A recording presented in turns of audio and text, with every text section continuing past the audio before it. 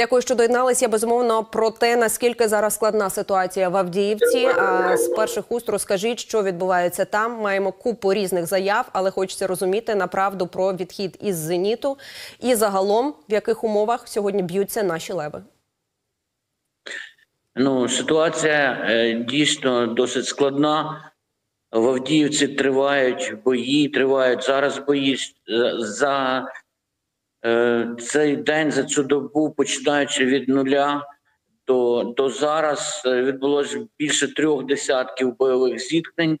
Е, наших військових, наших захисників Авдіївки е, по них застосовують і авіаційні удари. Тому ситуація дуже дуже складна. Що можете сказати про е, відхід із позицій, до прикладу, Зеніт? Наскільки це була точка стратегічна? Що це може змінити загалом по ситуації в Авдіївці чи нічого? Дайте трохи більше інформації. Ну скажімо так, ви розумієте, е, ворог діє приблизно за таким сценарієм. Він зносить все що є на то на ну на ті на ті чи іншій точці, тобто на ті чи іншій місцевості, там де є якісь укриття, там де є якісь укріплення артилерією, там іншим озброєнням, він зносить просто все до того, що залишається купа сміття, і е, коли захищати це вже просто немає ніякого сенсу для нас. Найголовніше це життя наших бійців, життя наших солдатів, як підкреслив і президент України, як говорять наші командувачі. От е, головне, це наші це наші солдати, зберегти їх.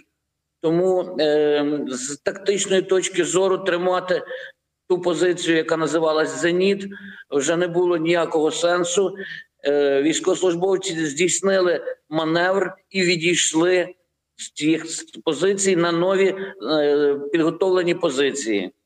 Пане Владе, я так розумію, ви говорите про те, що наш ворог застосовує ну якісь абсолютно нереальні е, кількості, нереальних кількостях оці каби і знищує все живе і, і і, руйнує все під нуль, фактично у тій Авдіївці. Дуже багато про це інформації. Про це пишуть бійці 3-ї окремої штурмової бригади. Але окрім цього, вони вдаються ще й до застосування фосфорних е, снарядів, наскільки я розумію.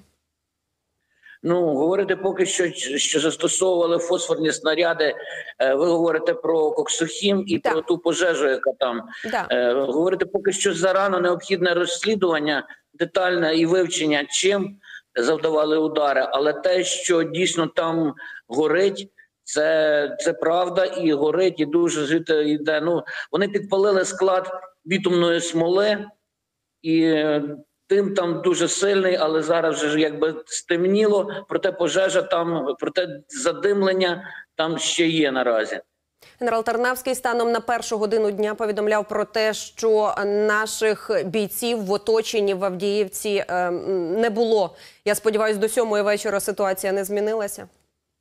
Е, Наші бійці відходять з позиції ну я маю на увазі, так як було з зенітом, так. відходять на такі позиції, які зарані підготовлені вже. Тобто в оточенні нікого на сьогоднішній момент на цей момент ні, немає. Все організовано, все під контролем. Здійснюється е, чітке управ... і стійке головне управління. Всі знають, що робити, як відходити, як відбиватись. От тому говорити, що хтось потрапляє в якісь котли. Е, принаймні зараз ну не можна і. Е, командування підготовило логістичні шляхи для того, щоб підвозити боєприпаси е, за розпорядженням головнокомандувача. Іде забезпечення всім необхідним, не лише ну додатково, навіть всім необхідним, щоб вести активну оборону. Тому ну ми намагаємося втримати е, Авдіївку, і ми б'ємося за кожний міліметр нашої землі. Нас е, дуже непростий противник. Направду е, ворог злий і застосовує різні набори тактик. Я так розумію, в Авдіївці безпосередньо. Ну тобто, це не тільки штурмові дії малими піхотними групами, але і посилено долучається бронетехніка. Яка специфіка боїв безпосередньо у місті? Тому що ну міські бої це трохи про інше. Дійсно, міські бої вони доволі складні, і ворог теж намагається застосувати не лише тактику малих піхотних штурмових груп. Е, Він готує і техніку. Наприклад, позавчора наші знищили велику колону цієї техніки. Е, Це е, завдяки чіткій взаємодії різ- всіх сил оборони, всіх представників верніше сил оборони України, які сьогодні захищають Авдіївку, знищили і бронетехніку, і автомобільну техніку, і приблизно там до батальйона е, живої сили ворога. От е, ворог всіма силами намагається захопити це місто, а ми його утримуємо. І, не рахують е, свої втрати, не рахують людей. Я так розумію, на тисячі ворога не рахують. це просто вони просто колосальні. Наприклад, е, за цю добу це до, до пів тисячі чоловік загиблими. Ви розумієте, рахує? наскільки Вони не до- своїх до- людей. наскільки, наскільки він е, кидає туди все?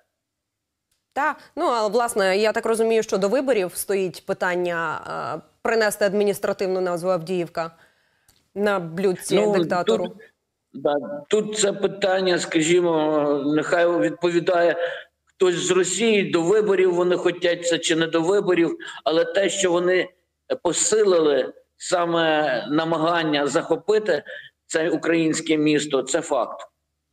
Я буквально пане лише одне запитання по е, Запорізькій області, тому що також з'являється інформація про те, що росіяни можуть готуватися там до чергового наступу, збирають сили, збільшують, е, укріплюють, підвозять свої резерви, е, збільшують своє угруповання. Чи часом не мають вони цілі намагатися відбити втрачене під час українського літнього контрнаступу? Ну, ви знаєте, щодо напрямку, який південний запорізький напрямок, там теж е, зосереджено доволі багато сил і засобів, але на окремому, е, скажімо, на окремій ділянці, так щоб було, е, щоб це було якесь створення наступальних угрупувань. Наразі такої інформації немає. Наразі вони кидають все в Авдіївку. Вони знімають з інших ділянок фронту і кидають туди. Я вам дуже дякую, що ви знайшли час і можливість доєднатися. Спасибі величезне за роботу вашу. Дякую, що е, прокоментували ситуацію. Влад Волошин, заступник командувача ОСУ в Таврія, був з нами на зв'язку. Спасибі. Героям слава. Дякую щиро.